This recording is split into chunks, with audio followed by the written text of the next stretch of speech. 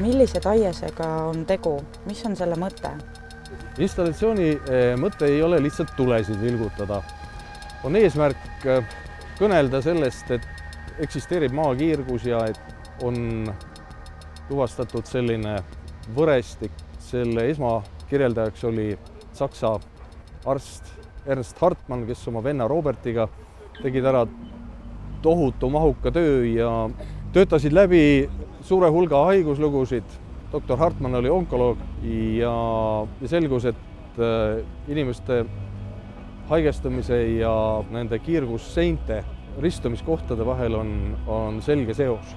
mina näen oma ülesandena seda esile tuua ja teadvustada ja, ja see installatsioon püüab Hartmanni võre teha nähtavaks. me neid nähtamatuid seinu, äh, mis katavad kogu emakest maad, neid me läbime päevas tuhandeid kordi, aga, aga kui me satume pikemat aega, viibime mõne, mõne selle seina ristumiskohas, noh näiteks magame seal aastaid, siis see nõrgestab meie immuunsüsteemi tunduvalt.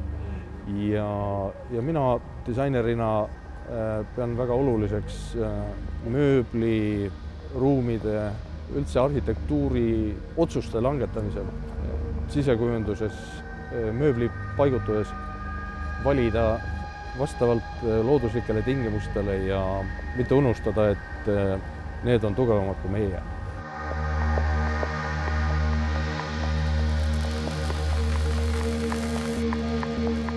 kuidas valgusinstallatsiooni igapäevasesse ellu üle tuua? see installatsioon, tema ongi nagu, nagu illustratsioon või noh, ütleme ruumiline joonis. Et näidata ära, et vot niimoodi, umbes nii kaugel nad üksteisest on ja põhja-lõunasuunalised eh, eristuvad eh, ida-lääne suunalistest värvi poolest, nagu siin, siin ka näha. Eh, ühed on türkiissinised, ühed on oranži. nii näevad neid mõned tundlikumad inimesed, mina, mina nende hulka ei kuulu. igapäevases elus on see rakendus äh, tegelikult ju väga lihtne äh,. tasub vaid äh, kuidas kellelgi õnnestub, kas ise mõõta või, või paluda kellelgi, kes seda Hartmanni nibu nimelist äh, instrumenti valdab üle mõõta koht, kus te veedate äh, oma uneaja, kus te olete hulga tunde ja, ja eriti magades on inimese siis äh, loomulikud kaitsereaktsioonid on, on samuti uinunud.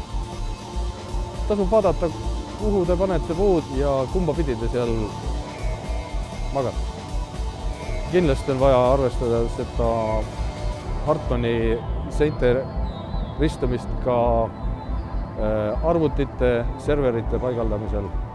Nad lihtsalt äh, nendes kohtades äh,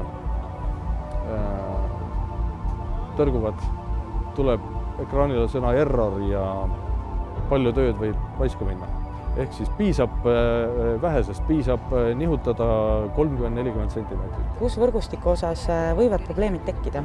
kõige kriitilisemad on kindlasti ristumiskohad.